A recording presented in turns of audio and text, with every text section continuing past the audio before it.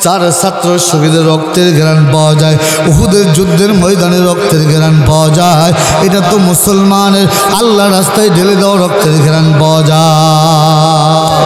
এর কণ্ঠ থেকে সারা জীবন হক কথা বের হবে। হক বলা কেউ বন্ধ করতে পারে না। কথা বলেন ঠিক কিনা কথা বলেন।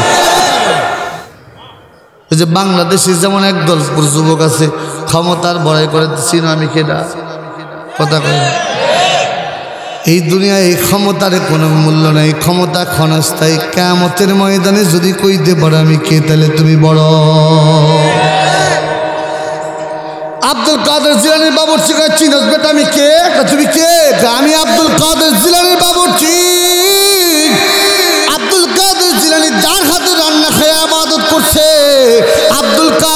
জিলানি যেখানে আছে, আমিও সেখানে থাকব। তুমি আল্লাহর কাছে বলে দাও, আমিও আব্দুল কাদের জিলানি। আমার হাতের পাক্ষে আবাদত করে আল্লাহর বলি হয়েছে। আব্দুল কাদের জিলানি যেখানে থাকবে, আমিও সেখানে থাকব। কিছু কিছু মুদ্রাস বলে, যারা জাকিরিন, শাকিরিন, ইমানদার, জাকিরিন, শাকিরিন সাদা দাড়ি ওলার দাম তো আরও বেশি।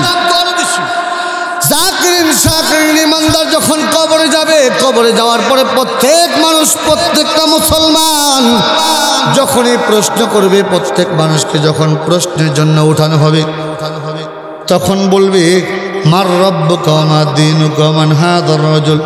কিন্তু প্রত্যেক মুর্দার দেখবে আসরের নামাজের সময় যাইতেছে মাকদেবে রক্ত শুরু হয়ে যাইতেছে। ইমানদার জাকরিন বলবে, ভাই, তুমি কে? তোমারে তো চিনি না। আসরের নামাজের সময় চলে যায়। অজুর বাড়ির ব্যবস্থা করে দাও। চাপ তারপরে তোমার জবাব, তোমার প্রশ্নের জবাব আমি দিব। কন্যা সুবাহান আল্লাহ বোঝেন নাই মনে হয়, বোঝেন নাই মনে হয়।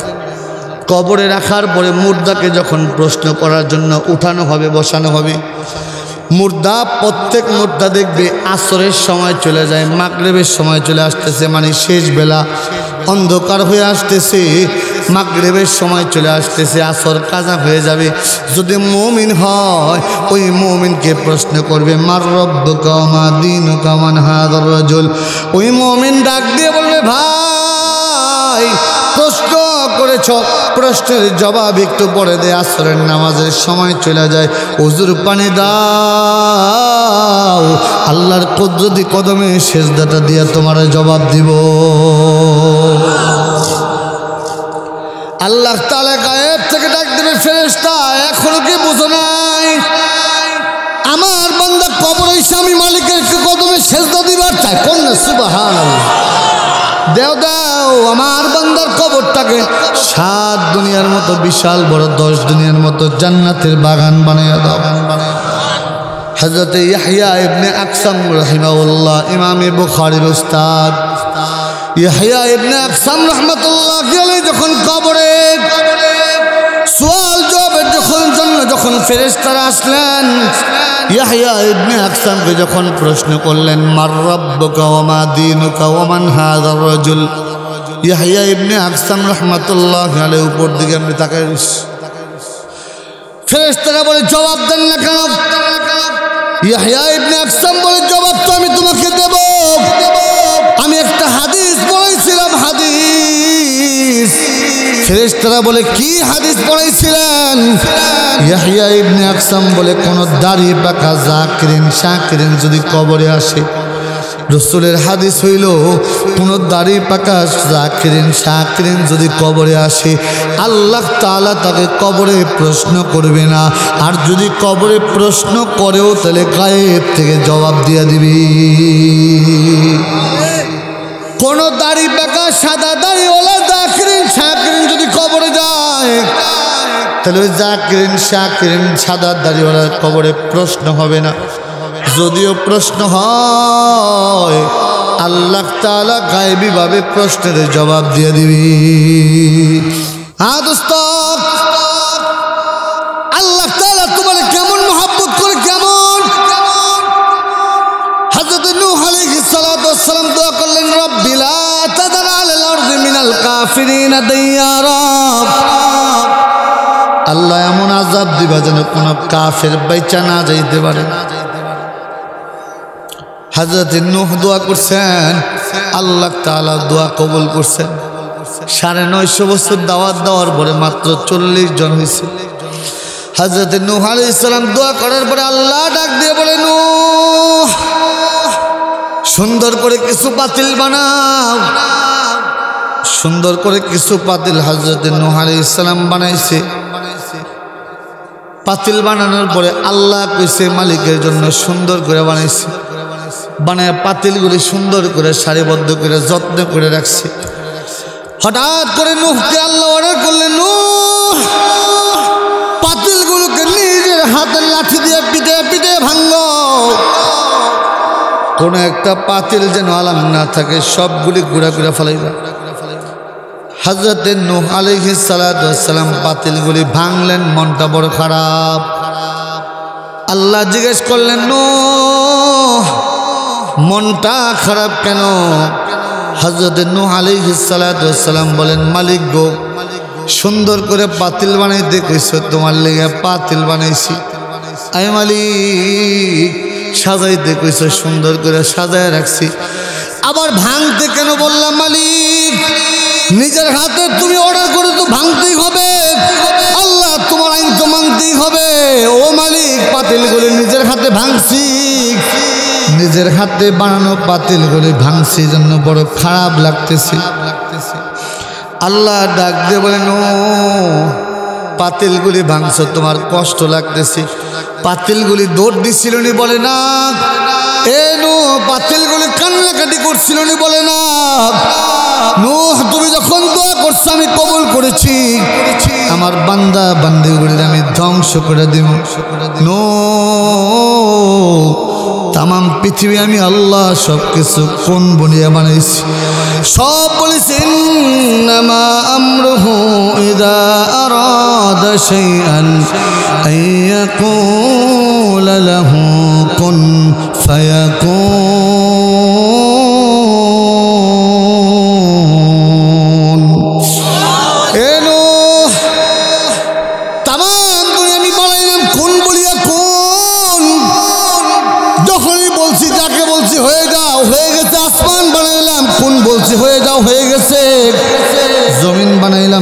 বলিয়া বলছি, হয়ে যাও, হয়ে গেছে।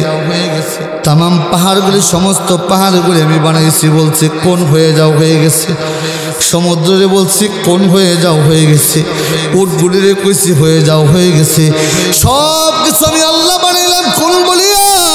শুধু মানুষের চেহারাটা আমি কুদরতে হাতে বানাইছিলেন হুয়াল্লাযী ইউসাউইরুকুম ফিল আরহাম কাইফা ইয়াশা। এ বান্দা, ওই মায়ের পেটের মধ্যে আল্লাহ বান্দারে যেমনে চাইছে, অমনে বানাইছে। মায়ের পেটের মধ্যে কোনো ডাক্তারের ডাক্তারই চলে না, ইঞ্জিনিয়ার ইঞ্জিনিয়ার চলে না, কথা কয় না। আল্লাহ যেমনি চাইছে, বান্দারে অমনি বানাইছেন। আল্লাহ ডাক দিয়ে বলে নো আমার বান্দা, বান্দিগুলির আমি সুন্দর করে আমার নিজ কুদরতি হাতের চেহারাটারে বানাইছি। এই বান্দা বান্দিগুলি যখন দৌড় দিবে, কান্নাকাটি করবে, আমার বান্দা যখন কান্দে, আমি মালিকের কুদরতি অন্তরে সহ্য হয় না। আমার বান্দা যখন আমার ডাক দেয়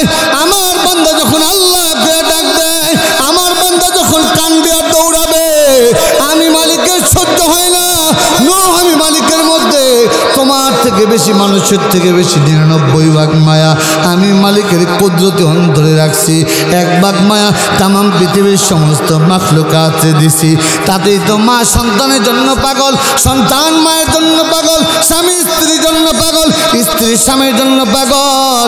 নিরানব্বই ভাগ মায়া আমি আল্লাহর অন্তরে রাখছি। আমি মায়ার আমি আমার মাওলার কেমন লাগে? আমি আমি মাওলার বান্দাগুলি যখন কান্দি, আমি মালিকের কাছে সহ্য হয় না, আমি মালিকের কাছে সহ্য হয় না। এরে বান্দা, আল্লাহ তাআলার কোনো বান্দা যখন আল্লাহ আল্লাহ করে ডাক দেয়, তখন আল্লাহ তাআলার বড় মায়া লাগে। কন্যা সুবহানাল্লাহ? টিস্যু ধাক্কাইতেছে না বারবার। টিস্যু লাগলে তো আমি চামু চা দাও মিয়া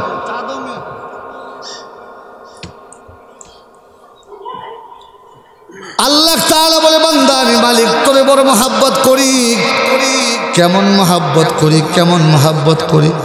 সব কিছু তোর জন্য আমি আল্লাহ বানাইছি। কিসের দোকানে তুমি পড়ে গেছো, আমি তো তোর চেহারাটা আমার জন্য বানাইছি। এই কপালটা আমি মালিক আমার জন্য বানাইছি দাতা খালি আমারে দিবি।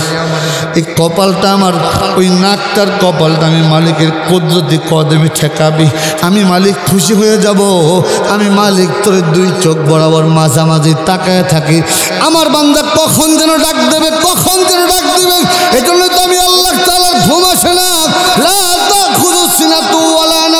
আমি আল্লাহর ঘুমও আসে না, আমি আল্লাহর ঝিমানিও আসে না। কন্যা সুবাহার আমি আল্লাহর ঘুম আসে না আমি আল্লাহর ঝিমানি আসে না আমি আল্লাহ আমার বান্দার দিকে তাকায় থাকি আমার বান্দা আমি মালিকরে কখন ডাক দিবে এই জন্য মালিক ডাক দিয়ে কয় মা গর্রা কবি রব্বিকাল করিম মা গর্রা কবি রব্বিকাল করিম মা গর্রা কবি রব্বিকাল করিম الذي خلقك فسواك فعدلك রে বান্দা আল্লাহর থেকে তোরে কিসের দূরে সরাইয়া দেবে? মা গর্রক বিরব্বিকাল করিম, এই দুনিয়ার কোন মালিকের থেকে কেমনে দূরে সরে সরে গেলি রে বান্দা? মালিকের থেকে দূরে কেমনে গেলি? মালিকের থেকে দূরে কেমনে গেলি? আল্লাদি খলাকাকা ফাসাওয়াকা ফাদালাক। যে মালিক তোরে সুন্দর করে বানাইছে যে মালিক তোরে রিজিক দেয়, যেই মালিক তোর জন্য সব নিয়ামত বানাইল, বান্দারে ওই মালিকরে তুই কেমনে ভুলে গেলি? কি বলেন?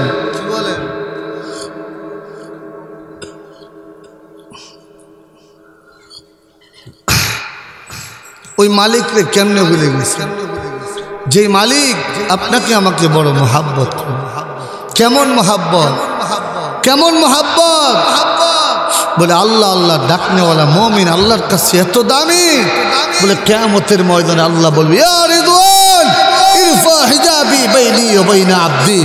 আল্লাহর ভয়ে কান্নেওয়ালা আল্লাহর ভয়ে জিকির করনেওয়ালা আল্লাহ আল্লাহ ডাকনেওয়ালা, ঠান্ডা পানি দিয়ে অজু করে মালিকের কুদরতি কদমে সেজদা দেনেওয়ালা, ওই বান্দাগুলি যখন কেয়ামতের ময়দানে যাবে, আলমকে মোহাব্বত করনেওয়ালা, আলমকে কদর করনেওয়ালা, ওই বান্দা কোরআনকে মোহাব্বত করনেওয়ালা, কোরআন পড়তে পারে না, মাঝে মাঝে কোরআনটা লইয়া হাত মুসার বলে, আল্লাহ, তোমার কোরআনরে বড় মোহাব্বত করি, কিন্তু তোমার কোরআন পড়তে পারি না, বড় মহাব্বত করি আল্লাহ ওই কোরআনকে মোহাব্বত করনেওয়ালা, ওই বান্দা যখন কেয়ামতের ময়দান থেকে জান্নাতের মধ্যে যাবে, আল্লাহ ডাক দিবে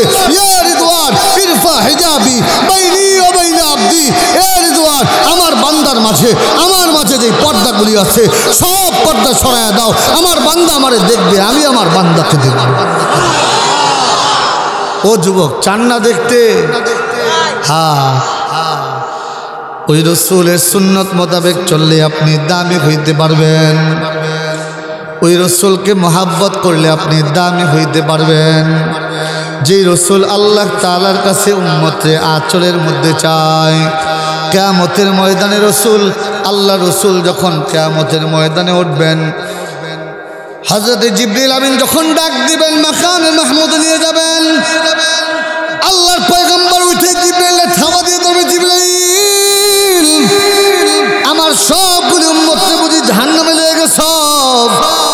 হজরত জিবরিল আমিন বলবে, ইয়া রাসূলুল্লাহ, ইয়া হাবিবাল্লাহ, মান যাল্লাযী ইয়াশফাউ ইনদাহু ইল্লা বিইذনি আজকে কিয়ামতের ময়দানে আপনি আল্লাহর দরবারে সুপারিশ কে করবেন? আল্লাহ হইল একমাত্র বিচারপতি, বিচারক হইল আল্লাহ তাআলা। একমাত্র উকিল, জামিনদার হইলেন একমাত্র আপনি আপনি ছাড়া সুপারিশ কে করবে? আল্লাহ তাআলা বড় রাগান্বিত কহার নাম ধারণ করছে, লিমানিল মুলকুল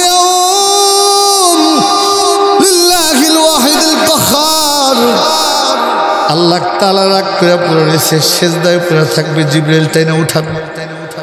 আল্লাহর হাবিব ওই যে জাহান্নাম যখন খাইতে আসবে, আল্লাহ তালা লম্বা আলোচনা সংক্ষেপে বলতেছে, আল্লাহ তালা বলবে, আমার হাবিব মাথা উঠানে জানেন, একটু পানি দিলাম, ফিকা মারেন।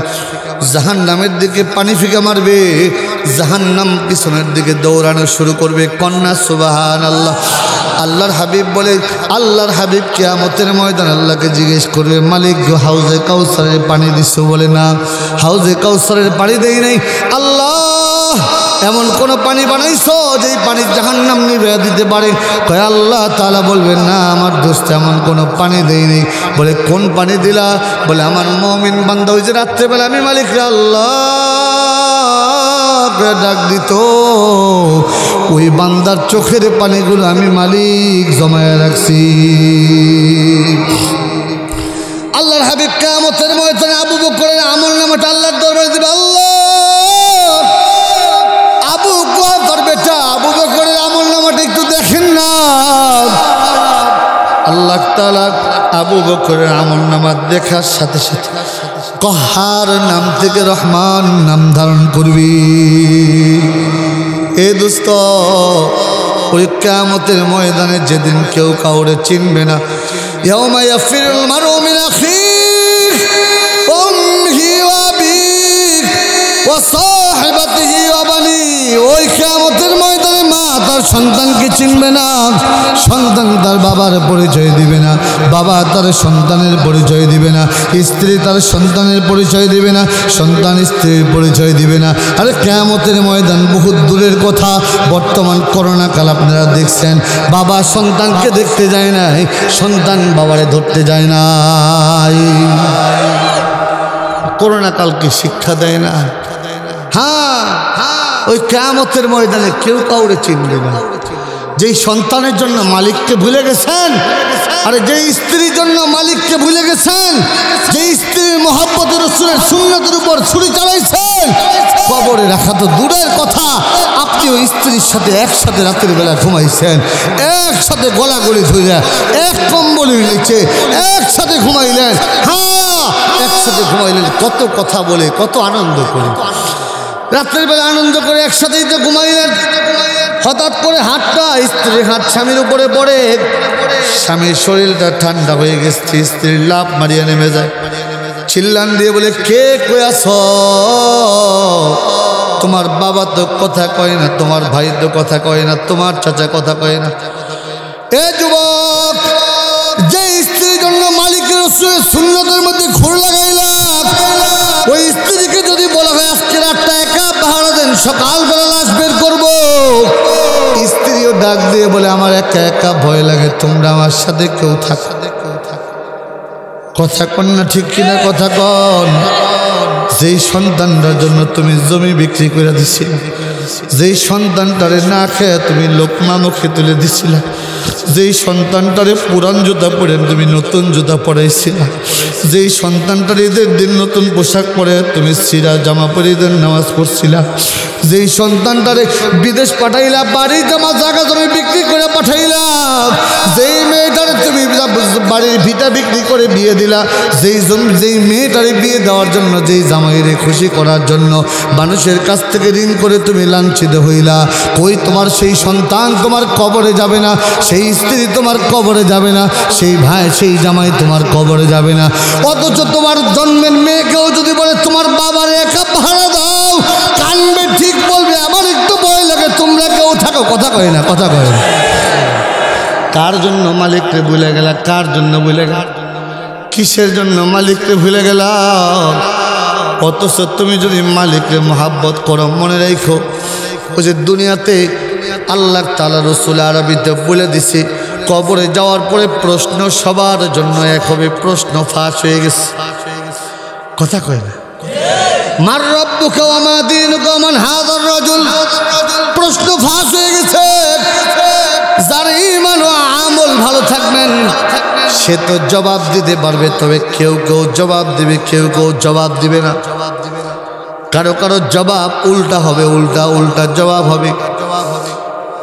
বলে কেউ তো জবাব দিবে, আবার কেউ জবাব দিবে না, বরং উল্টা ধমক দিবে। হাজরতে খাজা আব্দুল কাদের জিলানি রহমতুল্লাহ বাবুর ছিলেন তেকাল খবরে যাওয়ার পরে প্রশ্ন করছে, মার রব্বু কাওয়ামা দিন কাওয়ামান হাজার রজুল? আব্দুল কাদের জিলানি রহমতুল্লাহ খেলের বাবুর সেই ফেরেস তাদেরকে বলে, আমার সিন আমি কেনা ওই যে বাংলাদেশে যেমন একদল যুবক আছে, ক্ষমতার বড়াই করে সিন আমি কেনা কথা কয়। এই দুনিয়ায় এই ক্ষমতার কোনো মূল্য নাই, ক্ষমতা ক্ষণস্থায়ী কেমতের ময়দানে যদি কইতে পারো আমি কে, তাহলে তুমি বড়। আব্দুল কাদের জিলানির বাবুর্চি চিনস বেটা, আমি কে? তুমি কে? আমি আব্দুল কাদের জিলানির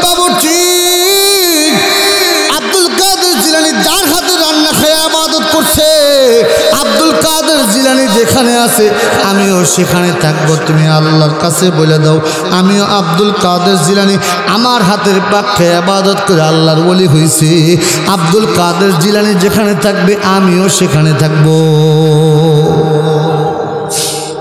কিছু কিছু মুদ্রার পরে যারা জাকিরিন, শাকিরিন ইমানদার, জাকিরিন, শাকিরিন সাদা দাড়িওয়ালার দাম তো আরও বেশি। জাকিরিন শাকিরিন ইমানদার যখন কবরে যাবে, কবরে যাওয়ার পরে প্রত্যেক মানুষ, প্রত্যেকটা মুসলমান যখনই প্রশ্ন করবে, প্রত্যেক মানুষকে যখন প্রশ্নের জন্য উঠানো হবে, তখন বলবে, মার রব্ব কমা দিন কমান হাদর রজল। কিন্তু প্রত্যেক মুর্দার দেখবে, আসরের নামাজের সময় যাইতেছে মাকদেবের রক্ত শুরু হয়ে যাইতেছে। ইমানদার জাকরিন বলবে, ভাই, তুমি কে? তোমারে তো চিনি না।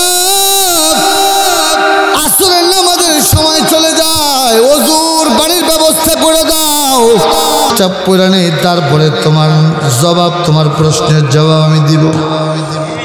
কন্যা সুবাহান আল্লাহ বোঝেন নাই মনে হয়, বোঝেন নাই মনে হয়।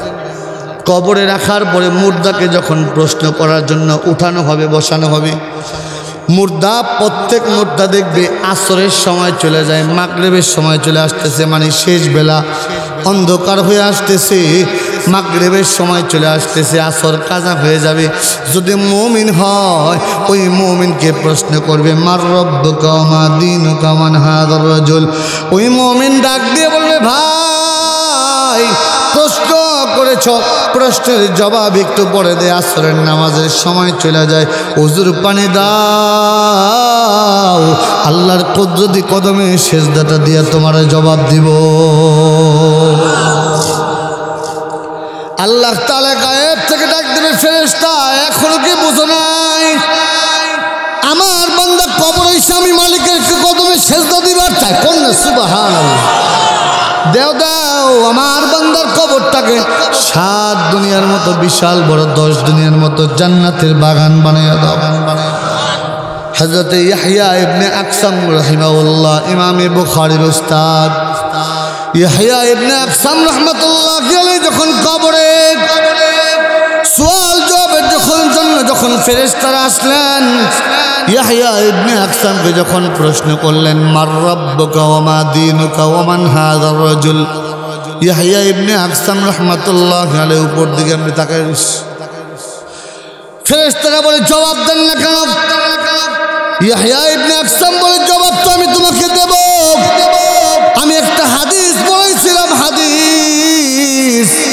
ফেরেশতারা বলে, কি হাদিস পড়াইছিলেন? ইয়াহিয়া ইবনে আকসাম বলে, কোন দাড়ি পাকা জাকিরিন শাকিরিন যদি কবরে আসে, রসুলের হাদিস হইল, কোন দাড়ি পাকা জাকিরিন শাকিরিন যদি কবরে আসে, আল্লাহ তালা তাকে কবরে প্রশ্ন করবে না। আর যদি কবরে প্রশ্ন করেও তাহলে গায়েব থেকে জবাব দিয়ে দিবি। কোন দাড়ি পাকা, সাদা দাড়িওয়ালা জাকিরিন শাকিরিন যদি কবরে যায়, তাহলে ওই জাকিরিন শাকিরিন সাদা দাড়িওয়ালার কবরে প্রশ্ন হবে না। যদিও প্রশ্ন হয়, আল্লাহ তালা গায়েবীভাবে প্রশ্নের জবাব দিয়ে দিবি। হাজরত ইয়াহিয়া ইবনে আকসাম বলে, হাদিসটাকে ভুল পড়াইলাম নি। রসুলের হাদিস ভুল পড়ানোর কারণে আমি জাহান নামে হয়ে যাব এই পেরেশানিতে আসছি গায়ের থেকে আওয়াজ আসছে ইয়াহিয়া হাদিস ভুল পড়াও নাই। তোমার হাদিসটা মনে আছে কিনা দেখার জন্য প্রশ্ন করা হয়েছে। কুকুরটার একটু খেদান না। কেউ একজন যান। শয়তানে দোষ ও যুবক ভাই জন্য আল্লাহ রস্তে বলে কথা আসতেছি শুনেন। আল্লাহ রস্তে বলে, এখনও সময় আছে, আল্লাহ তাআলার রসুলের সন্ন্যত মোতাবেক চলেন। আল্লাহর হুকুম মোতাবেক চলেন। এমন শিক্ষায় শিক্ষিত সন্তানকে বানান। যেই শিক্ষায় শিক্ষিত হইলে একা জান্নাতে যাবে না। বরং রসুল আরবি বলে, মান করা আল কোরআন ফাস্তাজাহারাহু ফাহাল্লা হালালাহু ওয়া হাররামা হারামাহু আদখালাহু আল্লাহুল জান্নাহ ওয়া শাফাহু ফি আশরাতিন মিন আহলি কুল্লুহুম কদ ওয়াজাবাত লাহুন নার আল্লাহর পয়গম্বর বলেন, শোনো, কোন আলেম কেয়ামতের ময়দানে যখন আসবেন, আল্লাহ তাআলা যখন তাকে জান্নাতে যেতে বলবেন, আলেম তো অবশ্যই জান্নাতে যাবে। কিন্তু মনে রেখো, একা জান্নাতে যাবে না, এমন দশটা বংশ নিয়ে জান্নাতে যাবে। যেই দশটা বংশের উপর জাহান্নাম ওয়াজিব হয়ে গেছিল। এমন দশটা বংশ নিয়ে যাবে। আজকে তো আলেমের মর্যাদা কম। মসজিদে আসলে আর কোনো দোষ ধরা হয় না। ইমাম সাহেবের দোষ। আরে কথা কয় না, কথা কয় না। আরে ভাই, একটা সময় ছিল মসজিদ কাটা, মমিনের ইমান পাকা। আর এখন হয়েছে মসজিদ পাকা মমিনের ইমান কাঁচা। একটা সময় মসজিদে গেলে বসে থাকতে মনে চাইছে। আর এখন মসজিদে গেলে কতক্ষণে বাইরে চার দোকানে কথা কয় না। কে বলছে আপনার এই ঘুষের টাকায় আর সুদের টাকায় মসজিদ বানাইতে? একটা বাংলাদেশে বর্তমান সমাজে একটা বড় গজবের নাম মসজিদ কমিটির সভাপতি হয় সুৎখোরার ঘুষ। হোলাম একটা হক কথা বলতেই পারে না, কথা কওয়ার আগেই সভাপতি চোখ করে নেবে। বইবে কাস্তিস ইমাম সাহেব পাল্টান পাল্টান পাল্টান। সুদের বিরুদ্ধে কইস ঘুষের বিরুদ্ধে কইস তো সেক্রেটারি করে আইলে আছে। কথা কয় না। সারা বছর নামাজ পড়ে না। শুক্রবার দিন আর ঈদের নামাজের দিন যায় নামাজেরটা বগলের তলে লইয়া মসজিদের প্রথম কাতারে মোয়াজ্জনের সাথে জায়গায় যায় মানে সে খাইছে রে। বিশাল নামাজি। বসরুদ্দিন এরকম বসরুদ্দিন বছরে একদিন। আর শুকুরুদ্দিন সপ্তাহে একদিন।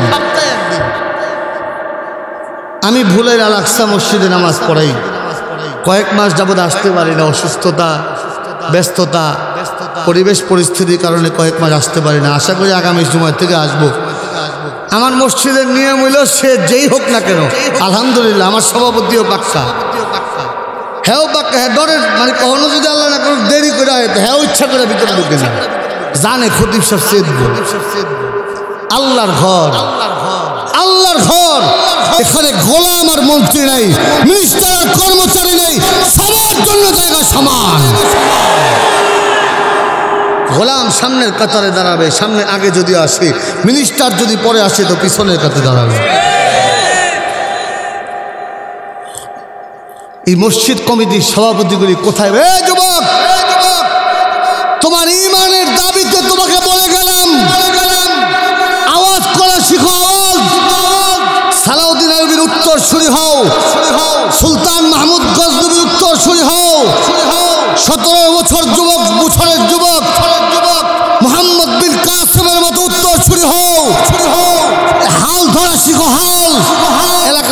তোমরা হাল ধরো। এখন থেকে মসজিদ কমিটির সভাপতি হবে ইমানদার, নামাজি, গরিব, কৃষক, প্রয়োজনে। কথা বলেন দিচ্ছেন কে বলছে আপনাকে মসজিদ টাইলস করতে? কে অহংকার করতে কোন হাদিসে পাইছেন মসজিদ টাইলস করতেই হবে। সৌন্দর্য করা না যায় বলছি না। ইমাম সাহেবের বেতন দেন না ঠিক মতো সে বেতন দেন আষ্ট হাজার মসজিদ পাওয়া করেন ষোলো লাখ টাকা দিয়ে। কোথায় পাইছেন এই মাসালা মনে রেখে একটা মাসালা বলে দিয়ে যায় যদি বাংলাদেশের কোনো মুফতি ঘুরাইতে পারে, আমারে বললেন আমি মুস্তাকা দিয়ে যাব। টাকা দিয়ে যাব। কোনো ইমাম যদি নামাজের কাতার ইমামতিতে দাঁড়ায় ভাবে আজকে দুপুরে খাব কি? খাব কোন ইমাম যদি নামাজের কাতারে দাঁড়ায় ইমামতিতে দাঁড়ায় একবার ভাবে আজকে আমার বাড়িতে নিব কি? একজনেরও নামাজ হয় না একজনেরও নামাজ হয় না। যে ইমাম আপনার পুরা জান্নাতের গ্যারান্টি নিয়ে সামনে দাঁড়াইছে ওই ইমামের সাথে বেয়াদবি করেন ইমামের বেতন নিয়ে পাঁচশো টাকা এক হাজার টাকা বাড়াইতে পাঁচটা মিটিং বসা লাগে। আরে কথা কই না।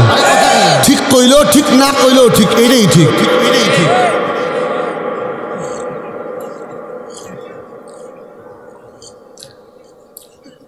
বন্ধু বন্ধু, দোস্ত, যুবক, একজন আলেম। আপনি তো আপনার বাবার জন্য ইমাম সাহেবের বাড়িতে নিয়ে দোয়া করান। আপনার বাবার কবরের পাশে নেওয়ার সুযোগ সুযোগ আপনি পান না। আজকে একটা হাদিস শুনে দিয়ে দেয় শোনো, একজন আলেমকে কবরের পাশ দিয়ে ঘুরে আনো। রসুল আরবি বলে, কোন আলেম, কোন হাফেজে কোরআন যদি কবরের পাশ দিয়ে হাইতে দেয়, আল্লাহ সাথে সাথে কবরের আজাব চল্লিশ দিনের জন্য বন্ধ করে দেয়। বন্ধ করে। কি মনে করছ আলেমদের? কহুজুর আলেমদের দোষটাই আছে। প্রত্যেকটা মানুষই দোষে দোষে গুণেই তো মানুষ। আমরা ভুল করব, আল্লাহ ক্ষমা করবে, এটার জন্যই তো আমাদের মানুষ বানাইছে আল্লাহ আল্লাহ হয়েছে। তবে ইমাম সাহেব ভুল করলে, চিল্লে আপনার বলা দরকার নাই। আলেমের বেইজ্জতি করবেন, আল্লাহ আপনাকে জমিনে বেইজ্জতি করে ছেড়ে দিবে। আপনার সামনে আলেম কিছু বলতে পারে না, মনে রেখেন। আলেম এমন এক দরজায় হাত তুলতে জানে, যে দরজা থেকে আল্লাহ কোনো মাজলুমকে কোনোদিন ফেরত দেন নেই। ফেরত দেন আজ একটা কথা আপনাদের শোনাই। আমি যখন ছোট ছিলাম, আট, নয় বছর বয়স আমার, আজ থেকে বিশ, পঁচিশ বছর, তিরিশ বছর আগের কথা। ছোট মানুষ আমি, মাদ্রাসায় সাত কিলো অথবা এগারো এখন তো এগারো কিলোমিটার লেখা দিবি, তখন তো আর মাইল বুঝতাম না। তো এগারো কিলোমিটার দূরে বাসার থেকে হাইতে দিয়েছিলাম আমার বাবার টাকা ছিল না যে আমি হাইতে যাব। ভ্যানে যাব। আপনারা অনেকে দেখেন নেই, পাঁচ পয়সা, দশ পয়সা ছিল আমাদের সময়। পাঁচ পয়সা দিয়ে ভ্যান ভাড়া দিতাম, পাঁচ পয়সা দিয়ে। রওনা করছি, প্রতিদিন যাইতাম। এক মুরব্বী ছিল, ওনার মতো মনে করেন। ডাক দিত আমি ছোট্টবেলা খুব সুন্দর ছিলাম। ডাক, ইসমাইল। তো পাঁচ পয়সা দিয়ে দুইটা, তিনটা চকলেট পাওয়া যেত। উনি দুইটা চকলেট দিতাম আমার প্রতিদিন প্রতিদিন। হঠাৎ একদিন প্রশ্ন করল, ইসমাইল, হাইতে যাও কেন? ভ্যানে যাও না কেন? আমি বললাম, দাদা জান, আমার বাবার তো টাকা নেই, আমি কেমনে ভ্যানে যাব? আমার বাবার তো টাকা নেই, আমি যে ভ্যানে যাব, ভ্যানে যাওয়ার মতো তৌফিক আমাদের ওই মুরব্বী, পরের দিন আমার ডাক দিয়েছে, এদিকে আসো, কাছে গেছি। যাওয়ার পরে একশো টাকা দিছে, আজ থেকে তিরিশ বছর আগের কথা, একশো টাকা কন্যা সুবাহার টাকাটা দিয়ে আমারে বলতেছে টাকাটা বাবারেও দিবা না, তোমার মারও দিবা না, তুমিও খাইবা না। খাইবা না তুমি বাচ্চা মানুষ কি জব দিব? দিছেন কি লিখে তাহলে কি লিখে দিছেন? আব্বারও কমু না, মার আব্বাকেও দিব না, মাকেও দিব না, আমিও খাব না দিছেন কি উনি বলে, ইসমাইল, প্রতিদিন তুমি হাইটা যাও, আমার কাছে বড় কষ্ট লাগে। একশো টাকা দিয়ে যতদিন পারো ভ্যানে করে যাইবা, আসবা, আমার জন্য একটু দোয়া করবা। কসম করে বলি, কসম করে বলি, যতদিন আমি আমার জন্য হাত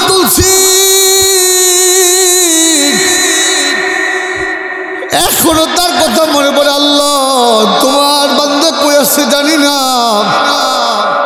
তোমার বান্দার কবরটারে তুমি জান্নাতের বাগান আলসাল্লাহ আমার গাড়িতে চলার পয়সা দিছে। তোমার বান্দারে পোল সেরাদের পোলটার বিজলির মতো পার করে দিতে পার। এ ভাই, এই জন্য ওলামাই কেরামকে মোহাব্বত করেন, সন্তানকে আলেম বানান। ইমাম সাহেবদের কদর করেন, ইমাম সাহেবদেরকে মোহাব্বত করেন, আলেমদেরকে মোহাব্বত করেন। দোষ টোকায়েন না, আলেমদের ভুল ধরেন না। যেখানে আল্লাহ নিজে কেয়ামতের ময়দানে আলেমদের বিচার করবে পর্দার আড়ালে, সেখানে আপনি একজন আলেমের বেইজ্জতি কেন করেন? মনে রেখেন, যারা আলেমের সাথে বেয়াদবি করে ওলামে কেরাম বলে তাদের জন্মে ত্রুটি আছে। আমার কথা না। আমার কথা না। এই ব্যাপারে আর এদিকে যাব না। আবার যদি কারও যদি উত্তর লাগে তাহলে আমি বলে দিই ও দোস্ত আজকে আপনাদের কাছে একটা আবদার করে যাই করে যাই। সন্তানকে তিনি শিক্ষায় শিক্ষিত বানাবেন, মনে আছে তো? মনে আছে তো? সন্তানকে কোরআন শিখাবেন, এমন শিক্ষায় শিক্ষিত করবেন, যেই শিক্ষায় শিক্ষিত হলে কানাডায় বেগম পাড়ায় বিল্ডিং বানাবে না, যেই শিক্ষায় শিক্ষিত হলে বাংলাদেশের রিজার্ভ শেষ হয়ে যাবে না, যেই শিক্ষায় শিক্ষিত হলে রিলিফ গম টিন চুরি হবে না, যেই শিক্ষায় শিক্ষিত হলে গরিবের হক নষ্ট হবে না, কথা কয় না। হক নষ্ট হয় না, হক নষ্ট করবে না, বাবা মার হক নষ্ট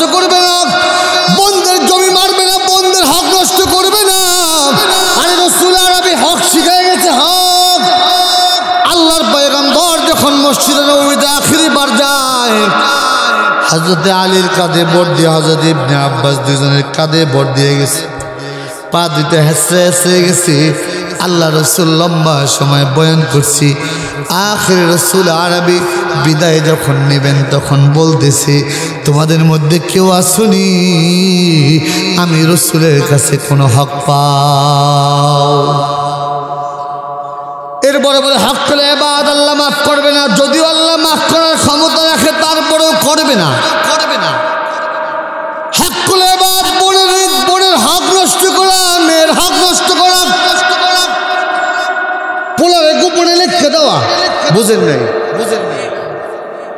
মেয়ের মেয়েকে না দেওয়া, বোনের হক নষ্ট করা, ভাইয়ের হক নষ্ট করা বলে কেমতের ময়দানে তোমার এই জমিগুলো কেলা বানায় গলার মধ্যে ঝুলে দিবে, যা যা। এগুলি নিয়ে যদি পারস তাহলে টাই না এগুলি নিয়ে জান্নাতে যা, পারবে না কেউ।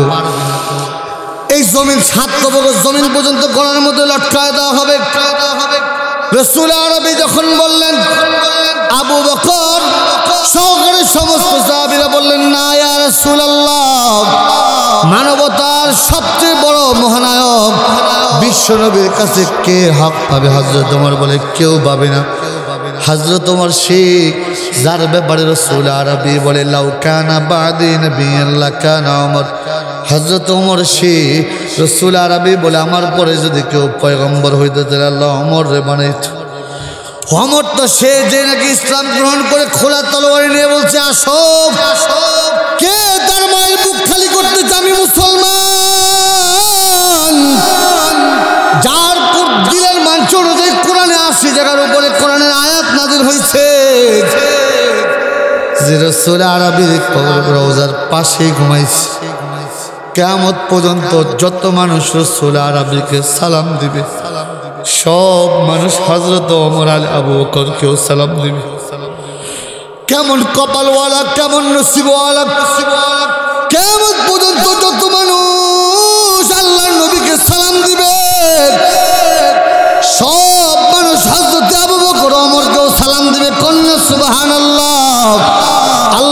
পয়গম্বর বলে, আবু বকর আনি আমি আবু বকর আমার ডান পাশ থেকে উঠবে অমর সীমা আলী অমর আমার বাম পাশ থেকে উঠবে। হ্যাঁ মনে রেখো, দুনিয়াতে যাকে যেখানে দাফন করা হয়েছে, সে সেই জায়গা থেকে উঠবে। এই জন্য আমি আমার বাবা মাকে ওসিয়ত করেছি। আমি যদি কোনো মাহফিলে ইন্তেকাল করে, আমার লাশটা আইনেন না। ওই এলাকায় দাফন কইরেন যেন আল্লাহর কাছে বলতে পারি, আল্লাহ, দুনিয়াতে তোমার দিনের দাওয়াত দিতে গিয়ে শহীদ হয়ে গেছি। হ্যাঁ মনে রেখেন কেয়ামতের ময়দান আল্লাহ জাহান্নাম কাদেরকে দিয়ে জ্বালাবে জানেন? তিন ধরনের মানুষকে দিয়ে জাহান্নাম প্রজ্বলিত করবে, জাহান্নামের আগুন জ্বালাবে।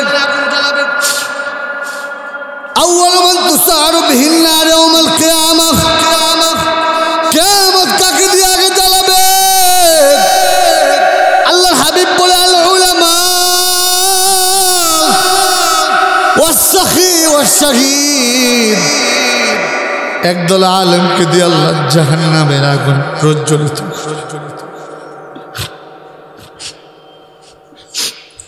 একদল আলেমকে দিয়ে আল্লাহ জাহান্নামের আগুন জ্বালাবে। আজকে তো আমরা ওলামাই কেরাম, আজকে আমরা ওলামাই কেরাম একজন আরেকজনের গিবত নিয়ে আসি। ওলামাই কেরাম একজন আরেকজনের বিরুদ্ধে কথা বলি। কাছে পর্যন্ত যদি পৌঁছে আল্লাহর আলেমদের হাতে ধরে বলি, পায়ে ধরে বলি, আমাকে যদি বলেন ইসমাইল সিরাজি তুমি যদি আমার পায়ে ধরো, একজন আলেমের বিরুদ্ধে কথা বল, আমি বন্ধ করে দেবো, আমি ওই আলেমের পায়ে ধরবো। তারপরে স্টেজ থেকে আর আগুন ধরেন না। মানুষের মধ্যে, মুসলমানের মধ্যে আর ভাগ করিয়েন না, ভাগ করিয়েন না। ওয়াতাসিমু বিহাবলিল্লাহি জামিআ ওয়ালা তাফাররাকু। এ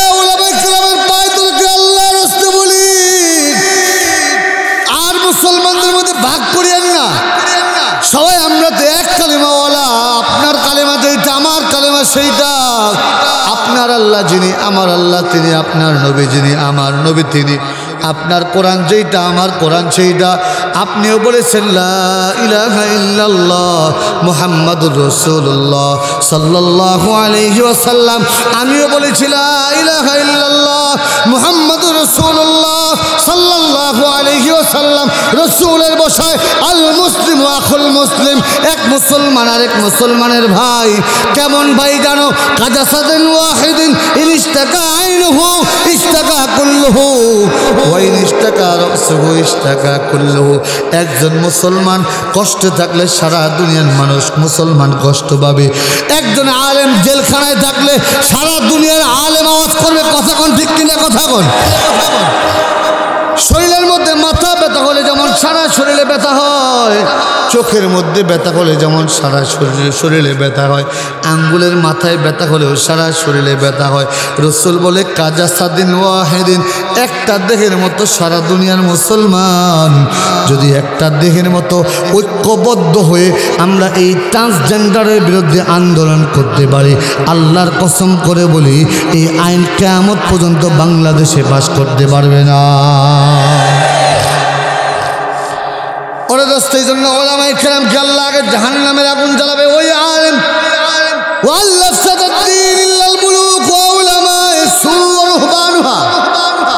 ওই আলেম আলেম পূজার জন্য কোরআনের বিরুদ্ধে কথা বলছে বা কোরআনের পক্ষে না বলিয়ে চুপ রয়েছে এই জন্য আমরা হক কথা বলতে চাই, হক কথা কারণ যেই মাদ্রাসায় পড়ছি, মাদ্রাসায় একজন কৃষক দান করে, একজন শ্রমিক দান করে, একজন ভ্যানওয়ালা দান করে, রিক্সাওয়ালা দান করে, ইঞ্জিনিয়ার দান করে, ব্যবসায়ী দান করে, প্রকৌশলী দান করে, ডাক্তার দান করে, কথা কয় না।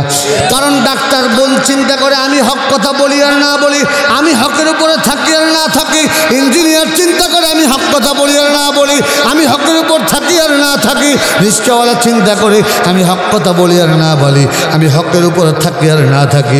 এই মাদ্রাসা থেকে যেই ছাত্রটা কোরআন পড়ে বের হবে, এর কণ্ঠ থেকে সারা জীবন হক কথা বের হবে।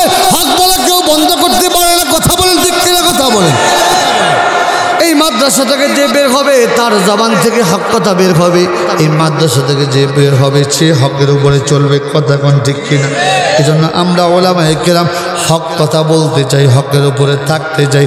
আল্লাহ আমাদের সবাইকে তৌফিক দান করুক, বলেন না, আমিন। হাজরত অমর রাজি আল্লাহ কেয়ামতের ময়দানে দেখে যেখানে দাফন করা হবে, সে সেখান থেকে কেয়ামতের ময়দানে উঠবে। একজন ছাড়া তার নাম হজরতে বেলাল তো সুরা আরবি রওজার থেকে প্রায় হাজার কিলোমিটার দূরে দাফন করা হয়েছে। রসুল আরবি বলে, আবু বকরান এমিনি আবু বকর আমার ডান পাশ থেকে উঠবে। অমর শিমালি, অমর আমার বাম পাশ থেকে উঠবে। বেলাল তাহদা কাদমি। বেলাল কেয়ামতের ময়দানে আমার পায়ের নিচ থেকে উঠবে। এর যুবক বেলালের বংশ পরিচয় ছিল না। বেলাল একজন গোলামের ঘরে গোলাম ছিল। শিক্ষা পরিচয় ছিল না। হজরত বেলালের হাদিসের কিতাবের মধ্যে পাওয়া যায় তাফসির মহাদিস ইকরামগণ লেখেন হাজরত বেলালের ঠোঁটটাই থুতনি পর্যন্ত ঝুলন্ত ছিল, চক্ষুটাও দেখা যাইত না, দাঁত ছাড়া ছাড়া।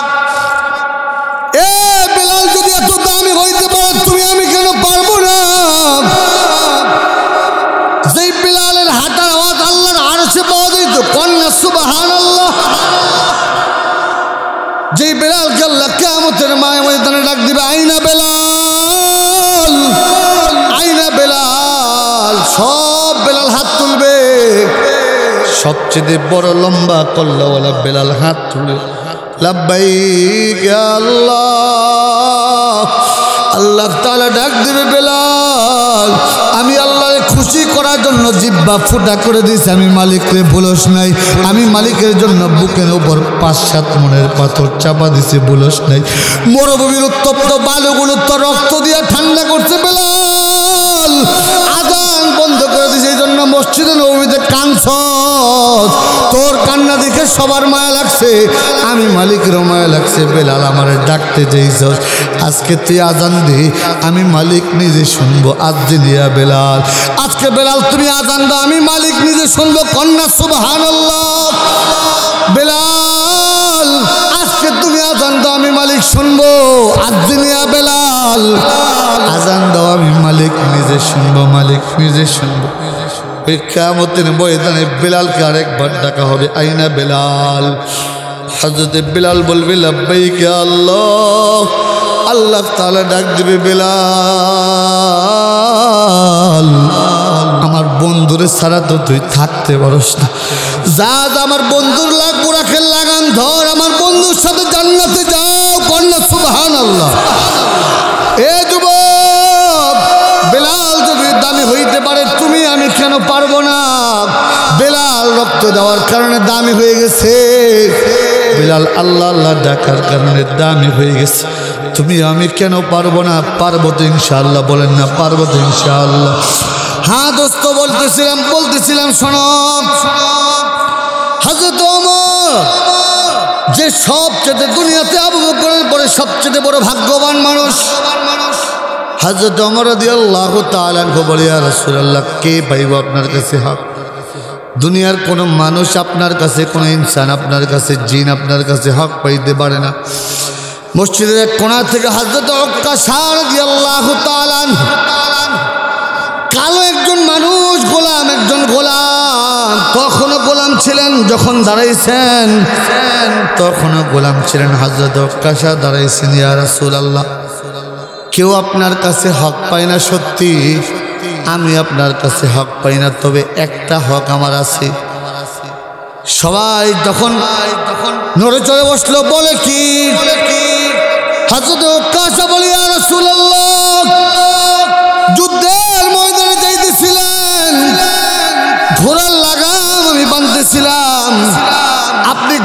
ওঠে তারা ঘোড়া করে একটা চাবক দিয়ে বাড়ি মারছেন। ঘোড়ার পিঠে না পড়ে আমার পিঠে পড়ছে। হজরত অমর তরবারি নিয়ে দাঁড়ায় গেছে। দানিয়া রসুল আল্লাহ আদরি বহু হাজাল মুনাফেক, আমি মুনাফেকের গর্দান উড়াই দিব। আজুরি বহু হাজাল মুনাফেক, আমি মুনাফেকের গর্দান উড়াই দিয়ে আমার অনুমতি দেন। আল্লাহ রসুল বলে দা হইয়া আমার এ ওমর, ছাড়ো, তারে হক পাবে এমন সময় যদি কবরে চলে যায়। আমি নবী যদি দুনিয়া ছেড়ে চলে যাই, রসুল কিন্তু আমাদের মতো মৃত নয়। বহু আফি কবরিহি হাই। আমি আগেই বলেছি, সমস্ত পয়গাম্বর কবরে নামাজ হালতে আসি রসুলের রোজার সামনে দিয়ে যদি কেউ সালাম দেয় রসুল সরাসরি শুনতে পায়।